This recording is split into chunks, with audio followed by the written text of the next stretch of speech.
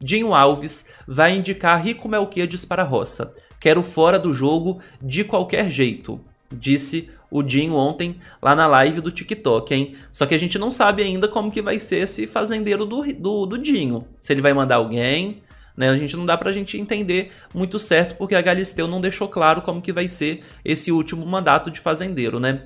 Ó, vencedor da última prova do fazendeiro da Fazenda 13, Dinho Alves declarou que tem a intenção de indicar Rico Melquiades para a 13ª roça do reality show. Ele afirmou querer ver o humorista fora do jogo por atacá-lo gratuitamente no confinamento. Durante a live do fazendeiro no TikTok, o dançarino relembrou que o humorista o chamou de planta e carregado no jogo e declarou que iria irá mandá-lo para Berlinda por também o querer ver fora da disputa do prêmio de um milhão e meio de reais, tá?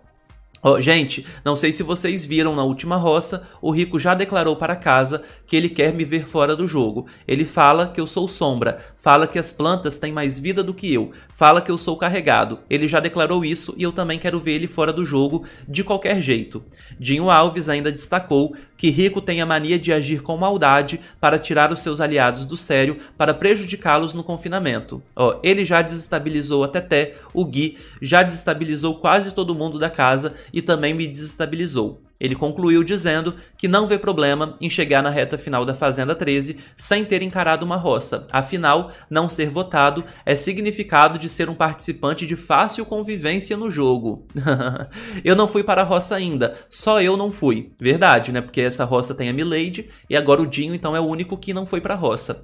Ó, eu fui, mas voltei como fazendeiro. Eu acho que as pessoas que não foram para a roça é porque têm afinidade boa com a galera, são boas de prova. Então, eu acho acho que as pessoas têm que testar um dia, tem que testar um dia. É um jogo top. Eu acho muito interessante a pessoa conseguir fugir da roça, finalizou o MC Gui. E de fato, gente, o Dinho não tá errado aqui no quesito fugir da roça. E se tem uma coisa que ele fez certo durante ali a temporada, né, durante a Fazenda, foi fugir da roça. E ele fugiu. Né? Agora a gente não sabe exatamente como que vai funcionar esse último mandato aí de fazendeiro. A Galisteu já falou que não vai ter mais imunidade da próxima roça, né? Ele apenas escapou dessa roça de hoje, que está sendo entre Aline Milady e Solange. Ele venceu a prova ontem. Ele vai acabar também ali distribuindo. Ele fez hoje a divisão das tarefas e tudo mais.